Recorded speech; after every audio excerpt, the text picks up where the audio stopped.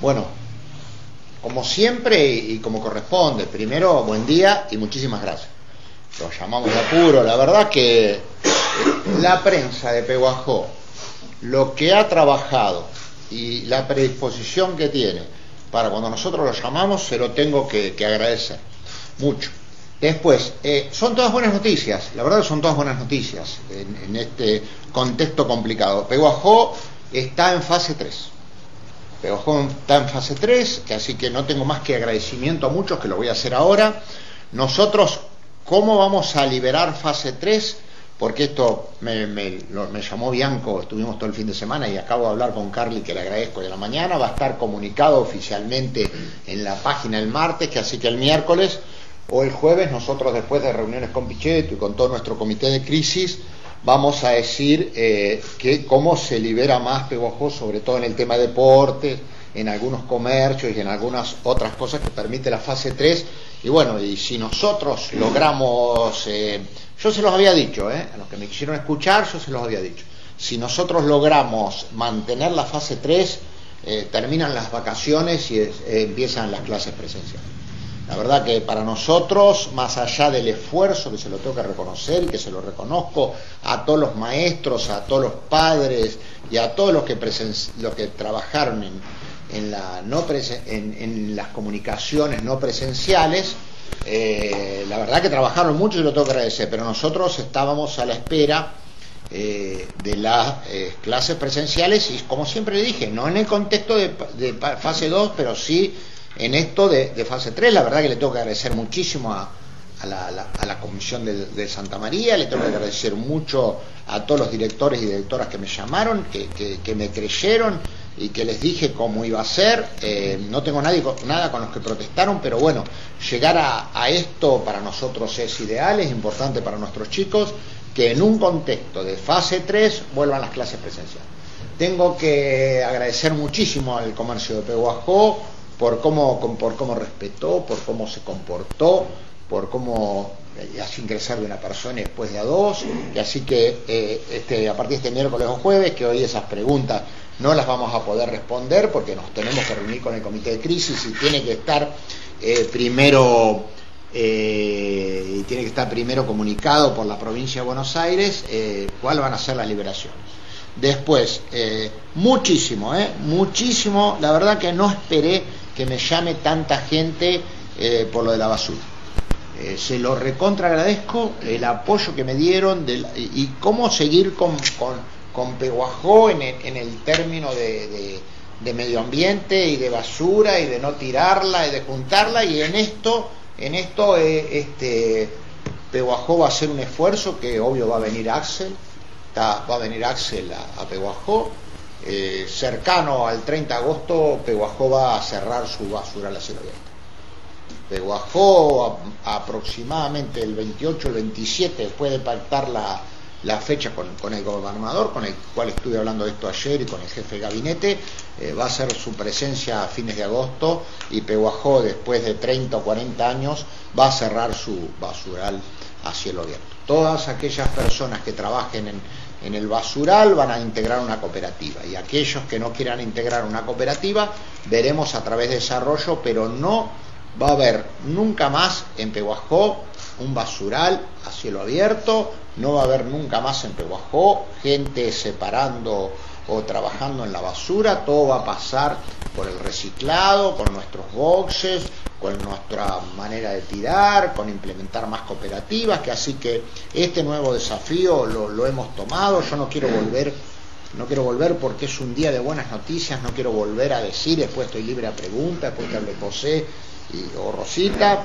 no quiero volver a decir por qué Peguajó se atrasó cuatro años, pero en esos cuatro años luchamos con los juzgados, luchamos con senadores, luchamos con diputados, fuimos a, fuimos a, la Cámara de San Isidro, fue todo muy, pero muy, muy engorroso, pero el final, el final, la luz del túnel, dijo, dijo la señora vicepresidenta, acá la luz del túnel realmente se ve, el final de agosto, el final de agosto, fecha fecha a decidir después de que se cierren las listas por el gobernador y por mí, eh, vamos a tener el cierre del, del Después ahora José les va a comentar lo importante que ha sido para nosotros ir a los vacunatorios a los pueblos y, cómo insertarnos en ese lugar, cómo la gente no viaje. José le va a decir lo de los testeos, lo importante que fue. Y yo le pido a todos, ¿eh? a todos los peguajenses, a todos, hasta, los que me, hasta los que me presentaron el amparo. Y agradezco a la señora que tuvo tanta sinceridad que me paró y me dijo, yo te presenté un amparo pero comparto muchas cosas con. La verdad que le agradezco su sinceridad. No estoy de acuerdo con lo del amparo, ya se lo expliqué, pero es una posible. Y otra cosa que les quiero decir, que si después quieren ustedes a los tiempos, lo desarrollamos. El procrear, el procrear es un, una, obra fantástica. Eh, yo le quiero agradecer ahora a que estamos, como le agradecí el otro día, y, con menos frío y con más tranquilidad, le quiero agradecer a Jorge Ferraresi, porque ahora le voy a contar lo que viene para Pegojol. Yo se lo quiero agradecer a Jorge. Él es un ministro, pero antes un ministro, un militante, un amigo. Nosotros, como dijo él, me corrigió que nos habíamos conocido en el Patria, no, nos habíamos conocido antes en, el Posadas, eh, un intendente de lujo para la ciudad de Avellaneda y un ministro de lujo para Peguajó. En realidad, Peguajó está en términos, después si quieren se lo explico porque hable José Rosita, en Pehuajó tiene para desarrollar con las de precrear 430 viviendas. Durante este año y algo, Pehuajó va a estar desarrollando 430 viviendas. Con algún atraso en algunas, con algún atraso por las licitaciones, por el cambio de precio, pero Pehuajó, después si quieren se lo detallo, es, para mí es un notición. 430 viviendas eh, las voy a terminar, está descontado antes de los dos años y cinco meses que me quedan de gobierno, pero es un número importantísimo de vivienda, es impactante, eh, después si quieren desarrollo, porque son muy distintas algunas de otras, sobre todo no en la concepción, pero sí en qué eh, va a estar dedicado, cómo se puede acceder a la vivienda, cómo se puede anotar. Así que bueno, la verdad que tengo palabras de agradecimiento a todos aquellos que la verdad que eh, el comercio fue espectacular. El comercio le agradezco muchísimo. El colegio fue espectacular, los gimnasios fueron espectaculares, todo todo lo construimos juntos. Lo construimos juntos. La fase 3 la construimos juntos. A hablar salud a la altura de las circunstancias, trabajando en, esta, en este periodo con mucha gente del hospital, lo del vacunatorio. La verdad que más esfuerzo no hemos podido hacer mantengámoslo. Le pido a la población de Peguajó que todos que hayan viajado, ahora José lo va a explicar cómo son los cuidados para que, no, para que llegue el primero de agosto, el 2, ¿no? Sí. Primero domingo. Que llegue el 2 de agosto y podamos ver con los recaudos, con los recaudos que corresponde los chicos en, en presencialidad. Así que bueno, José con lo de salud, después vuelvo si quieren, ¿eh? Rosita cuando vamos a alargar, cómo vamos a adherir al decreto, cómo lo vamos a comunicar. Obvio que no vamos a hacer otra conferencia, no vamos a hacer otra conferencia, se los vamos a comunicar a todos al mismo tiempo eh, eh, para que lo puedan comunicar y nosotros lo vamos a comunicar también con la con prensa municipal. Ay, perdón, y a la Cámara de Comercio también, lo vamos a comunicar y los vamos a llamar. Bueno, buenos días a todos.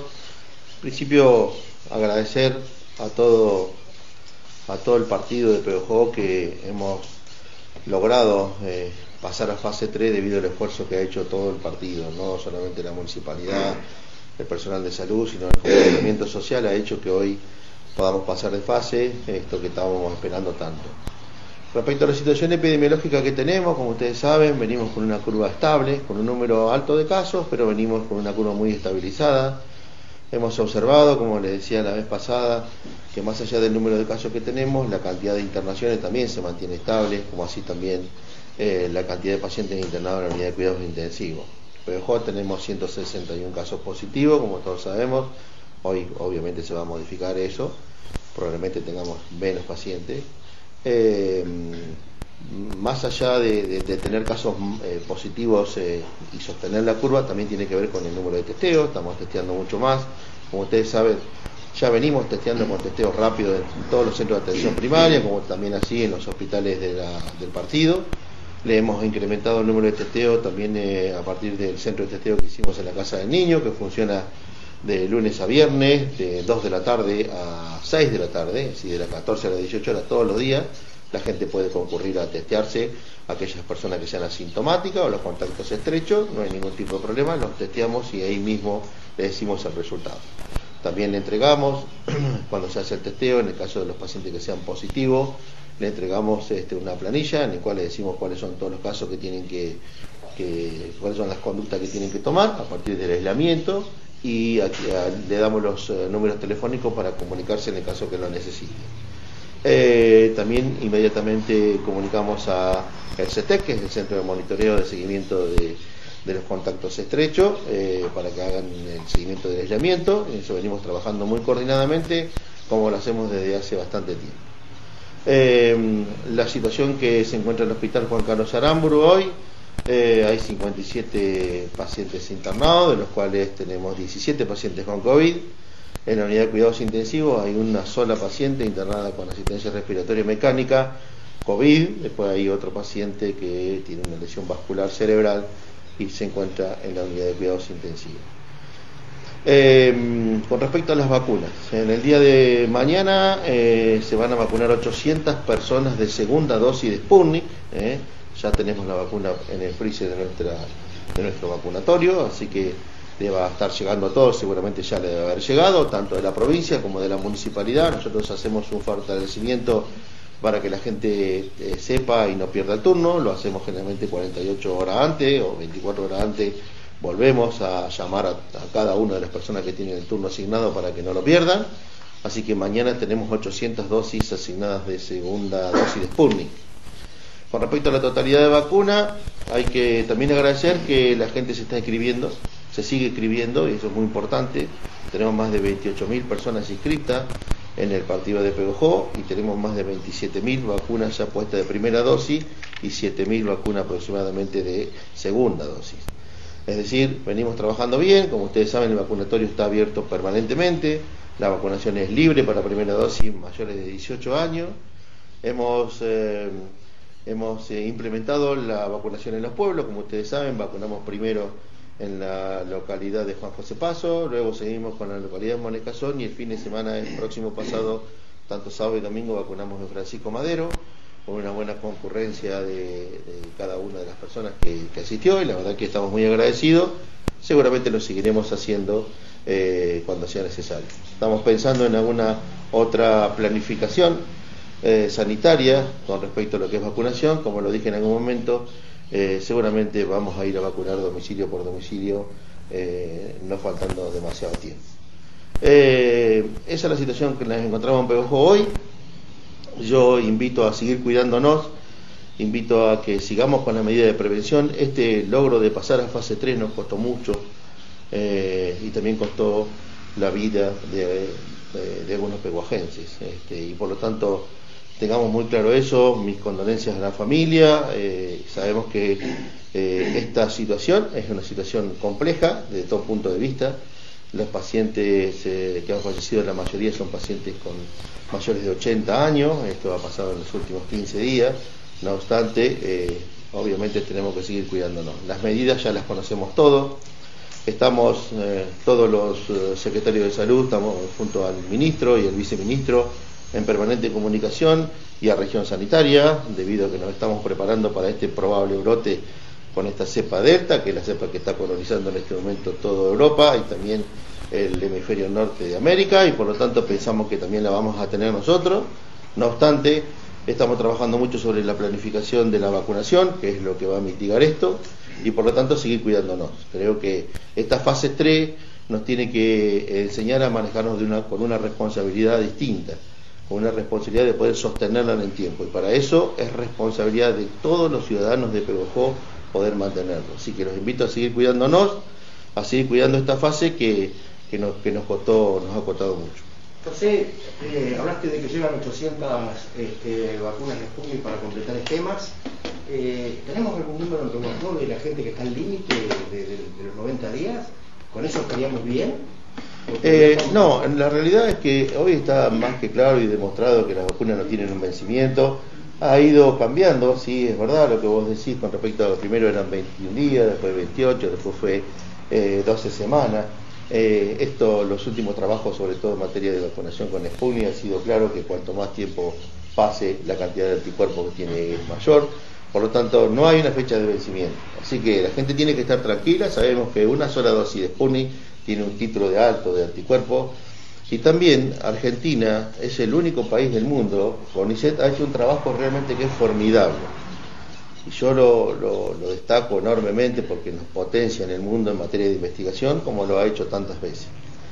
El CONICET presentó un trabajo de investigación en el cual se empezó a estudiar lo que pasa con los linfocitos T y no con los linfocitos B. Lo quiero explicar esto para que quede claro. Los linfocitos B son los linfocitos que producen los anticuerpos que eh, van a contrarrestar los efectos del virus. Los linfocitos T son unos linfocitos que tienen diferentes acciones. Por un lado, actúan fortaleciendo a los linfocitos B para que estos produzcan anticuerpos, pero por otro lado hay una memoria de linfocitos T que Argentina lo ha podido demostrar. Y la verdad que eso es muy importante. Es decir, lo habíamos hablado en otras conferencias. Hay una inmunidad que podemos medir, que es a través de la titulación de anticuerpos, y hay una que no es fácil de medir, que es la de linfocitos T. Ha dejado claro Argentina que todas las vacunas ¿sí? tienen como característica eh, eh, una importancia relevante en materia del estímulo de los linfocitos T. Por lo tanto, la gente se tiene que quedar tranquila porque memoria inmunológica vamos a tener todos, más allá del título de anticuerpo que podamos tener cada uno. José, eh, buen día. Eh, ¿Tienen el porcentaje de vecinos vacunados teniendo en cuenta la ronda que se hizo en los pueblos eh, con la primera y la segunda dosis? Sí, estamos en un 95% aproximadamente de la población vacunada, de la gente que está inscrita, por supuesto. Sí, eso nos permitió también a PBJ tener la posibilidad de que podamos vacunar libremente a las personas mayores de 18 años sin ningún tipo de restricción. ¿Cómo viene la respuesta de los jóvenes? Bueno, es el desafío que estamos teniendo, sí, el, desafío que está teniendo toda la Argentina y en realidad todo el mundo. Eh, estamos, estamos trabajando mucho sobre la convocatoria de ellos, lo estamos haciendo por diferentes medios. Vamos a hacer una vacunación seguramente domiciliaria, como dije recién, tratando de buscar también a los jóvenes. Eh, y, bueno, es el desafío. En Peguajó quedarían cuatro mil y pico de chicos todavía sin vacunar. Chicos, digo, son adolescentes, ¿no? Entre 18 y 25 años. Eh, así que bueno, seguiremos trabajando e invitamos a ellos que, eh, se inscriban porque es necesario, ya ni siquiera que se inscriban, que vayan al vacunatorio a, vacunarse, que es, eh, es, fundamental para que la sociedad pueda alcanzar la inmunidad de rebaño que tanto buscamos.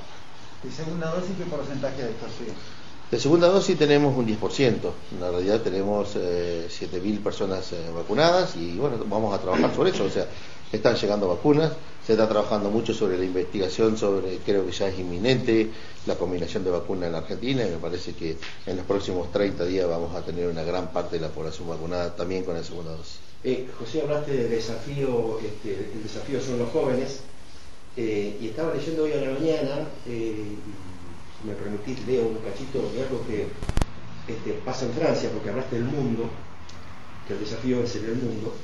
Emmanuel Macron, el presidente de Francia, eh, habilitó, hizo grandes habilitaciones, pero únicamente para los que están vacunados, porque dijo, no tengo ninguna intención de sacrificar mi vida, mi tiempo, mi libertad, la adolescencia de mis hijas, mis nietos, así como su derecho a estudiar adecuadamente por quienes se niegan a vacunarse. Esta vez se queda usted en casa, no nosotros, hizo una habilitación para la gente que está vacunada. Eh, por ahí, eh, es para vos, o quizás es para Pablo porque tiene que ver con una decisión política. Sí, sí, ahora con... Sí, eh, a ver, son estrategias sanitarias. Eh, y por supuesto que son decisiones políticas que excede a, a, mí, pero la realidad es que cuáles son las estrategias que hay, y muchas, hay muchas para poder convocar a sectores que normalmente no se vacunan. Eh, nosotros hasta ahora creemos que tenemos que convencerlos, tenemos que explicarles, tenemos que decirles la realidad que viven en el contexto de una, de una sociedad y por lo tanto es necesario.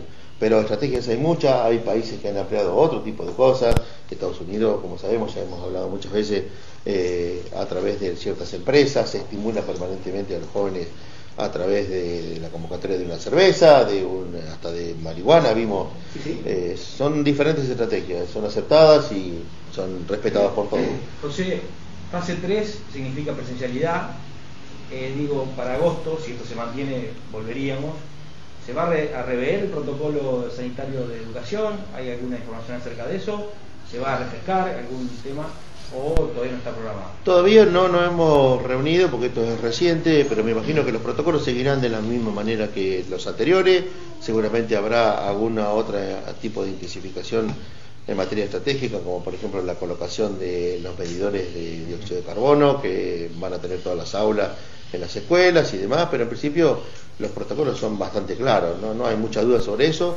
Sí, hay dos tipos de protocolos. Uno es el protocolo que tiene el Ministerio de Salud de la provincia eh, y otro el Ministerio de Educación. No obstante, los eh, trabajamos en conjunto eh, y bueno, creo que hemos hecho un buen trabajo. La realidad es que estábamos frente a una importantísima circulación comunitaria y por lo tanto fue necesario hacerlo, al menos desde nuestro punto de vista. Eh, y por supuesto que respetamos todas las opiniones, pero está claro que la provincia ha dejado un sistema de fase que seguramente se irán modificando de acuerdo a los diferentes indicadores epidemiológicos y al plan de vacunación que estamos teniendo para poder sostenerse en el tiempo. Eh, José, este, hablando de protocolo en la escuela, eh, se dice que, las escuelas no es un lugar de contagio. hubo muchas burbujas que se, que se tuvieron que aislar en su momento, que los chicos van a sus casas, aislados en la escuela, pero no aislados en su casa porque sus padres están con él y salen a trabajar.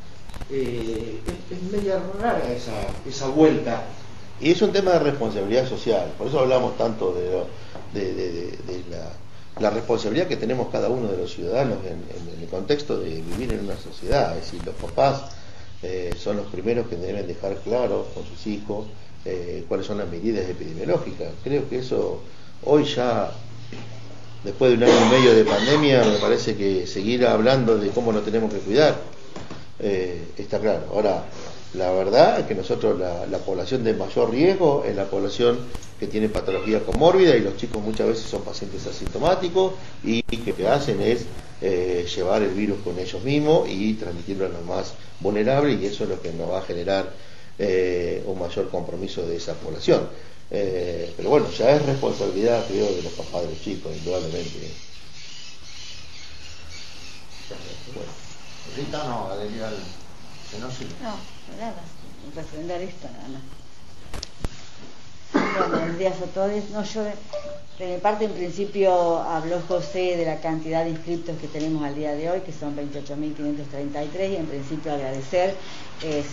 Era una convocatoria que habíamos realizado en la conferencia anterior, entonces parte del agradecimiento que han hecho este, José y Pablo, quiero agradecer especialmente a aquellos que se sumaron a esta convocatoria en principio. Em, también agradecer a los que he hablado mucho también de la situación de los comercios, entonces agradecer a los comercios su, su actitud y su cuidado que implica que hoy eh, formen parte de, esta acción que estamos en, fase 3, así que eso también agradecerle, decirle que las actividades que van a estar, que van a estar que van a ser autorizadas, como dijo Pablo, eh, a través del, estudio que vamos a hacer con el comité de crisis, las estaremos comunicando vía, vía comunicado de, prensa y por la página entre miércoles y jueves. Ya hoy tendremos o mañana tendremos la resolución de provincia de Buenos Aires también con respecto a esto.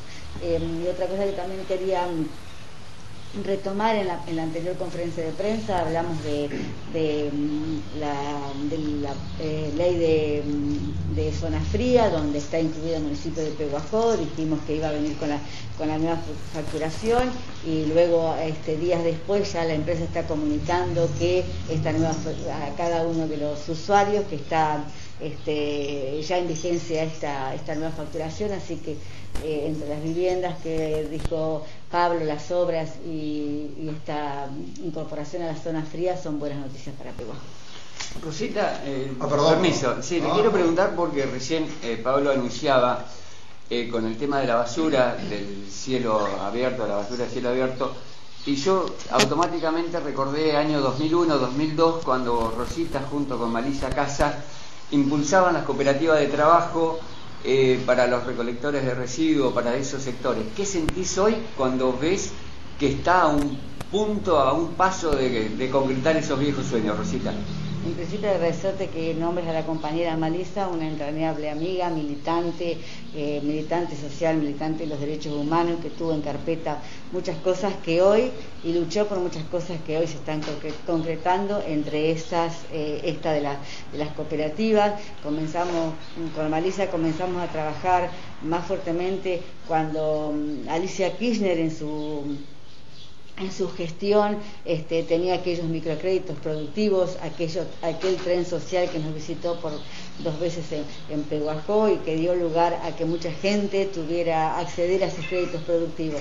Nosotros ahí observamos que había una gran cantidad de mujeres, y esto voy más allá del reciclado, había una gran cantidad de mujeres que en esos créditos productivos habían solicitado mm, este, material o accesorios o maquinarias textiles y ahí nos pusimos a trabajar y hoy tenemos a la cooperativa Evita que se inició eh, a instancias de, ese laburo que comenzamos con, Malisa, este, mm, eh, con el gobierno de, cuando estaba Alicia Kirchner.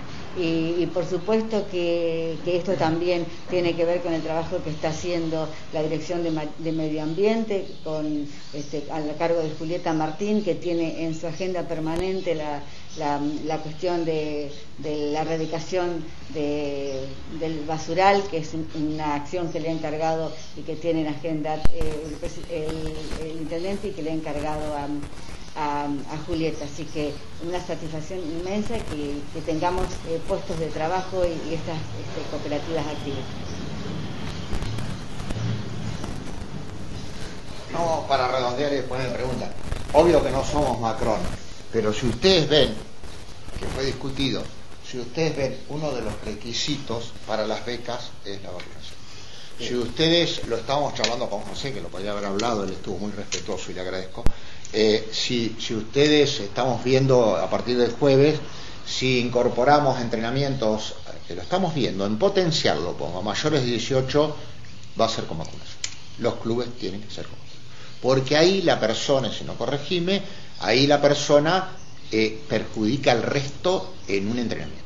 Así que vamos a tomar muchas medidas, que ya una las tomamos, con la vacunación, que si bien no es obligatoria, pero es hasta en esos casos una cuestión de salud y una cuestión ética para nosotros, que la vamos a hacer cumplir. Y otra cosa que le digo, se la podría explicar Pichetto, pero ya, ya estamos excedidos, o no, como ustedes lo quieran. Otra cosa que le digo, que no puede pasar desapercibido, que no puede irse de esta reunión, es el beneficio que no se ve de 450 millones para que Paso para que Madero tenga cloacas. El beneficio que da, claro, la cloaca no se da, no se ve, pero, pero la salud, el beneficio de, no tener un pozo, de no retirarlo, eh, porque la cloaca en realidad, más allá de la comodidad, tiene un beneficio increíble en lo que es respecto a la salud. Por eso nosotros también estamos mejorando, que ustedes me habrán visto, me tiré a ver cómo estaba la cloaca, porque dicen que hago ahí abajo, mira cómo estaba la cloaca, me tiré un pozo a ver cómo estaba la cloaca y vamos a cambiar la planta y hay muchísimas cosas con, muy, con muy buenas noticias. Yo se lo dije, lo que pasa es que a veces algunos no quieren escuchar y otros le conviene no escuchar porque estamos cerca de las elecciones. Yo se lo dije, salud, comercio, obras, y no tener una persona tirada en la calle y adelante con la educación. Obras, Pablo, Procrear, el otro día, el sábado, cuando se dio el anuncio del inicio de obra de desarrollo urbanístico, un tema que nos quedó y que seguro que hay mucha gente con inquietud, porque te lo pregunto, sé que la información todavía no está desarrollada del todo. No, no, pero ¿Qué se puede decir te acerca de las casa propia, casa activa, que es para mayores de edad y que es muy bueno, Juan, buenísima la pregunta. Primero, Procrear lo anunció el ministro, por eso digo que no se apuren a todos los que me preguntaron, y está bien que me pregunten. Acuérdense que Procrear tenía un monto para inscribirse 50 mil pesos el grupo familiar. Bueno, el ministro lo anunció en Peguajó que va a haber tres variantes, que hay que esperar porque puede ser que alguien que no llegue a 50.000 se pueda anotar. Eso por un lado. Igual procrear se va a anotar de acá a 7, 8 meses, ya arranca la obra. Es, bárbaro que te anotes ya viendo tu vivienda desarrollada en un 50 o 60%. Casa activa van a ser 32 departamentos con un complejo adentro de los departamentos, en el, patio, digamos, en el patio, perdón, con pileta, con, con distintos lugares para desarrollarse. Las personas que, adquiera ese departamento solo o en familia, no no con menores, eh, va a ser, nunca va a ser de ellos, pero la van a poder disfrutar toda su vida. Ahí también va a intervenir PAMI, que nosotros vamos a hacer un convenio de, PAMI para la asistencia. Y después, eh, casa propia es una genialidad de Ferraresi, que se lo he reconocido en todos los actos que voy, de cambiarle, de estigmatizar a la vivienda social, porque va a poder acceder a casa propia todo el mundo y hasta el que tenga un plan social va a tener que pagar una proporción de su plan social, de su sueldo, y está bueno que sea casa propia, porque ¿por qué? Eh, en realidad, eh, lo explicó muy bien, barrios sociales lo instalaron los eh, milicos asesinos cuando tuvimos los gobiernos militares para estigmatizar. Y bueno, esto es una recuperación de derechos, hasta en el nombre es una recuperación de derechos. Pablo, ¿Se puede anotar la gente eh, consulta? En realidad, eh, ahí lo estamos trabajando con la Secretaría de Gobierno y va a ser eh, desarrollo igual. En casa, en Procrear se va a poder anotar a través de la página en unos ocho meses. Nosotros en casa propia vamos a empezar a anotar en uno o dos meses con los requisitos que vamos a publicar. Es una nueva etapa, es arrancar con todo lo, lo que teníamos y lo que veníamos atrás. Vamos a hacer una apertura importante en desarrollo con distintas maneras de comunicarse. Eh, en hora de la tarde después vamos a tener para anotarse online eh, con todos los datos actualizados. Pero que se queden tranquilos que como siempre va sorteo y que las casas llevan 8, 9, un año, un año y algo de acuerdo. Ya tenemos dos fechas de licitación, de 91, no, de, 40, de 50, que ya es la semana que viene. Bueno, ahí hay un proceso. Eh, la verdad que nosotros en este contexto, y más allá de lo que dijo José, que adhiero, nosotros estamos con la bandera a media asta por los fallecidos y yo, como todo el mundo, y como lo dijo Alberto, como lo dijo Cristina y como lo digo, eh, bueno, acompañando a los familiares y, orando también, los que sean creyentes, por, por aquellos fallecidos que hemos tenido eh, con motivo del COVID. No, no creo en aquellos bestias que nos echan la culpa de la muerte. Nosotros nos hemos eh, inmolado para tratar que no nos pase lo del COVID, pero el mundo le pasó. Y bueno, eh, no es cantidad. Un muerto de COVID es un muerto de COVID, lo expliqué 20 veces, trabajamos mucho para eso no, no ocurra, es imposible que no ocurra. Vuelvo a viviendas, aquellos que están anotados en desarrollo, deben reescribirse, siguen anotados, no. todo nuevo. Vamos a actualizar totalmente aquellas anotaciones que vienen de muchísimos años en, desarrollo, van a tener tiempo, van a tener la posibilidad de, anotarse, va a haber trabajadoras sociales chequeando su situación, vamos a hacerlo muy organizado, como lo hicimos siempre y como siempre por sorteo.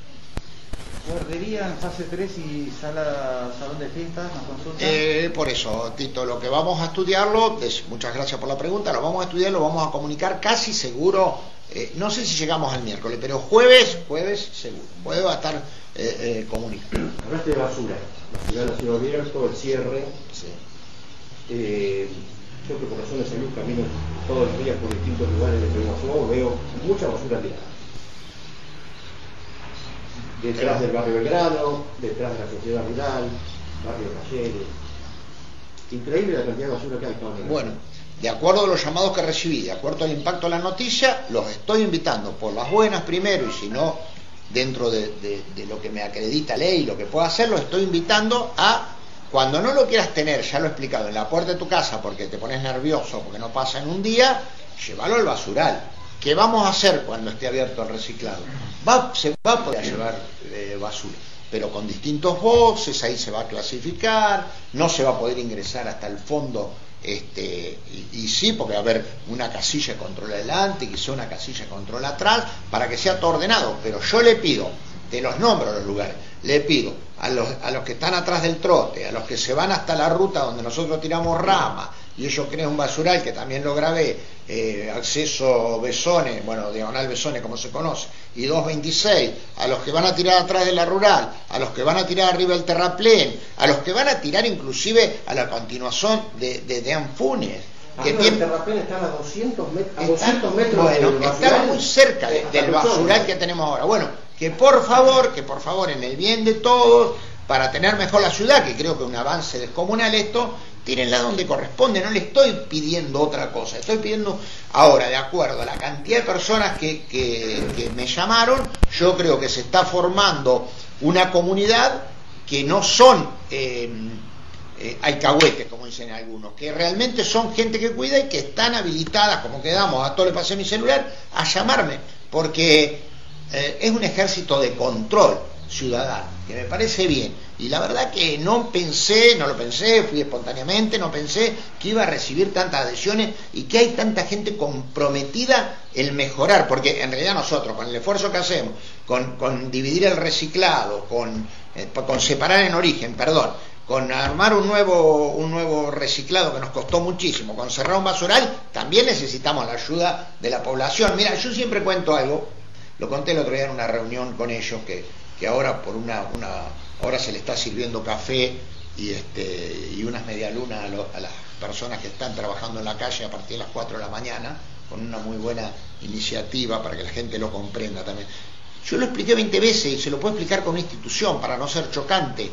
Eh, pasa un barrendero a las 5 de la mañana y sale una señora o, de una institución o de un comercio y barre la calle. ¿Por qué? ¿Por qué no adquirís una bolsita y lo metés en la bolsita? Porque si no, el esfuerzo de servicio de aquella persona del Estado que barrió con una heladita que le recomiendo, hoy va a estar barriendo a las 5 y media de la mañana, se lo regalo, lo único que puede resistir es eh, eh, el Picheto y, y, los barrenderos, pero después te morís de frío, muchachos, por eso le damos un café. Bueno, esa persona que se levanta a ocho y media o nueve, que no tengo nada con ella y que empieza su horario de trabajo, en vez de barrer a la calle, y aunque parezca una pavada, ustedes mírenlo y van a ver que todo suma, porque un edificio no se inicia del piso 11, se inicia por los cimientos, en vez de barrer la calle, barre la vereda, uh, lo que tengo que explicar, junta el montoncito y lo mete en una bolsa, su lugar va a estar limpio porque lo barrió la municipalidad, lo barrió un barrendero. Si todos entramos en eso, si todos colaboramos con eso, es un crecimiento. Miren, ¿saben quién logró eso? mucho barracho. Querer su pueblo querer Peguajo más allá que esté Zurro, que esté, bueno, Zurro hace mucho que está, o que esté otro, pero querer Peguajo, querer Peguajo, no, quererlo. Eh, eh, Barracha, miren, yo tengo, la verdad que terminó siendo muy amigo Barracha. Barracha salía cuarto una, un atleta en Trenquelauquen ni para potenciar Trenquelauquen corría cinco y el diario sacaba en la tapa espectacular, eh, no tengo nada con el diario ni con ninguno, espectacular resultado de Trenquelauquen. Acá sale segundo uno y todos dicen que desastre, salió segundo. Esa es la diferencia. Esa es la diferencia, lo tenemos que lograr, lo tenemos que lograr. Querer el lugar que vivimos. La verdad que yo soy Nick, nacido y criado, y si hay un lugar en el mundo es la cancha defensor y Peguajó. ¿Dónde quieren que vaya? Este es mi lugar en el mundo. Pablo, hablaste de defensor y el asfalto está una cuadra ya. Estás, cumpliendo casi el sueño.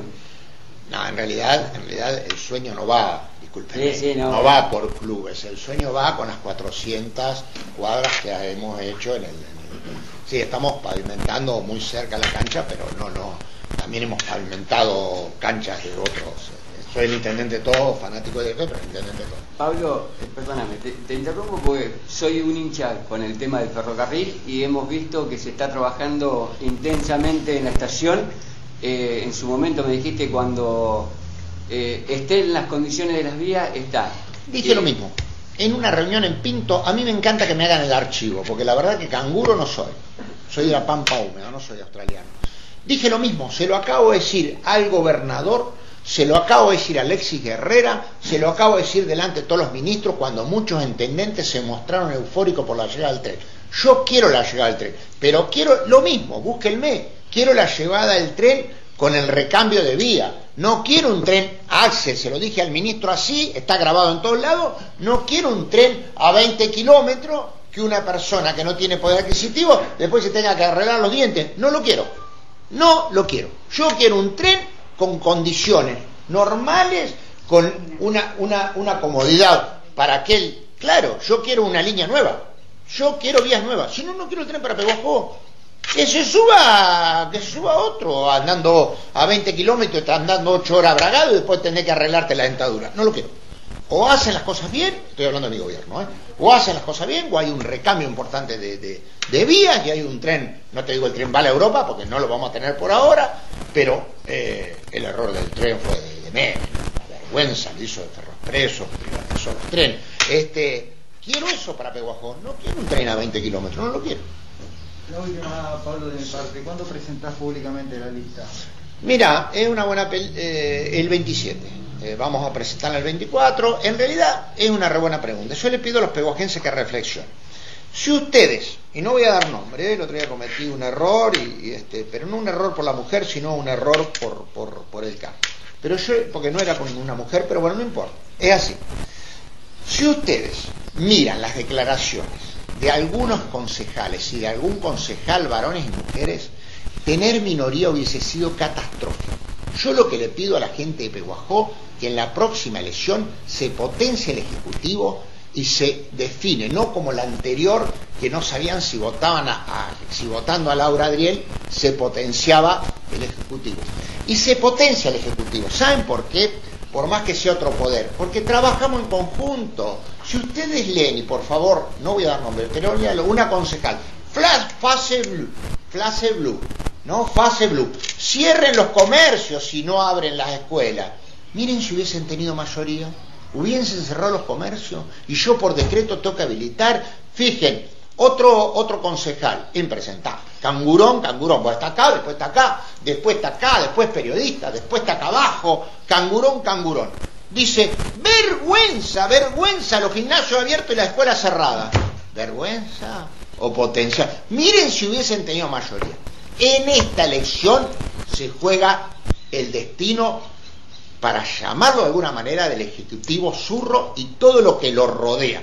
Si ustedes, es fácil esta elección de verla, si ustedes quieren que siga tramitando, que siga ejecutando, que siga gestionando y que siga debatiendo con un consejo deliberante, con mayoría, y que se sienta acá y que no es una escribanía, porque y debatimos, bueno, ya saben a qué lista tienen que votar.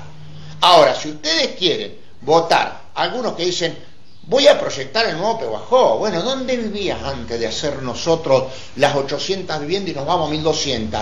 ¿Dónde vivías antes cuando cambiamos la Bardén? ¿Dónde vivías cuando hacíamos un... ¿Dónde vivías? Porque ahora te, se te va a ocurrir proyectar un nuevo Peguajó.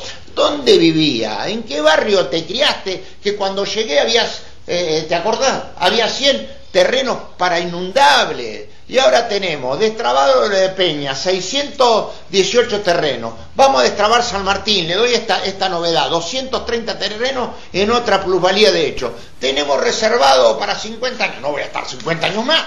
Tenemos reservado para 50 años más lo de los Rodríguez. ¿Dónde vivían los que se sientan y dicen quiero desarrollar Peguajó? Si durante cuatro años relacionados con Vidal y Macri no trajiste nada. No trajiste nada. ¿Qué traían cuando tenían tanto poder? La senadora, el diputado que va, a ser intendente por teléfono, eh, eh, el doctor que iba a potenciar la medicina privada. ¿Dónde estaban? Muchachos, ¿a quién traían? Angelici. ¿Por qué no lo trajeron al gordo valor? Me pedían que hable con Angelici. Escuchá, Ritondo, tres veces a Peguajó, nos sacó 68 policías. ¿Qué trajeron, muchachos? Vamos a hablar en serio. Pero hablemos en serio. ¿Qué trajeron con su poder? Que se comunicaban con Macri por teléfono. ¿Por qué no le dijeron Macri? 220 viviendas. No para Zurro, para Peguajó. ¿Qué trajeron, muchachos? ¿En qué barrio se criaron? Que Perón no le regaló juguete y Néstor no le dio y Cristina no le dio un derecho. Vamos a hablar en serio. Bueno, en esta legislativa me la voy a poner acá al hombro, voy a hacer la campaña porque sé licit lo que sé es así. O querés eh, que nuestra gestión, que nuestra gestión eh, no tenga inconveniente en seguir gestionando, trabajando y no tenga piedra en el camino, o querés que tengamos una minoría y atrasar Peguajó. Después ya sé lo que van a decir, hay distintos poderes, y mancha, distintos poderes, trabajamos juntos. Y van a decir totalitario, mancha, no soy totalitario. Les aclaro que no soy totalitario, gané cuatro elecciones. Y saben que soy, tengo, tengo, em, tengo la no autoritario, la autoridad que me da el pueblo de Peguajó para ejecutar. Fíjense si me pasaría debatiendo, todo el día debatiendo y debatiendo y debatiendo. ¿A dónde vamos a llegar? ¿Qué me... Autoritario, ganamos cuatro elecciones, muchachos. Soy intendente de, cuatro elecciones, arriba me tengo que bancar esto. Me tengo que bancar que, que ahí la voy a judicializar. Me tengo que bancar que, una, mujer, que la van a ver en todos lados, esté publicitando por redes sociales que traje la droga a Peguajó, cara dura. que sos, eh, la pareja de, un vendedor de cora, pedazo de cara dura, te voy a mandar al juzgado federal mañana. Ahora lo voy a anunciar en el juzgado federal. Estoy cansado de las redes sociales truchas. Una cara dura que es pareja de un vendedor de cora, narcotraficantes de porquería, me está publicitando bien en las redes sociales que traje la falopa Pebajó. Pero vamos a terminar, vamos a terminar con las mentiras, concejal. Concejal fase 2 blue. Cerrar los comercios, cerrar el gimnasio y abrir las escuelas. Pero no sean, no sean ridículos. Cangurito, no sean ridículos. Dejen de hablar pavadas. ¿Por qué no trajeron algo? Y me caliento si estoy recaliente. ¿Por qué no trajeron algo en la época de Macri? A ver, ¿qué trajeron? ¿Qué trajeron? Sí trajeron algo que el doctor lo va a explicar mejor que yo. Las vacunitas no se vencen adentro del cuerpo, se vencen en Echeverría 153 contra la señora del intendente de, de Trenquelao que las dejó vencer, muchachos, las dejó vencer. Bueno, vamos con la verdad, vamos, con vamos a debatir de todo. Listo, eso son las legislativas. No nos preocupa, me preocupa la gente que tiene hambre, me preocupa poder gestionando, me preocupa otra cosa. La legislativa, sí, listo, armamos una lista y vamos, muchachos. Es la gestión contra la no gestión, la demora, la calumnia y la injuria. ¿Quieren debatirlo? Hablen con mi primer consejero.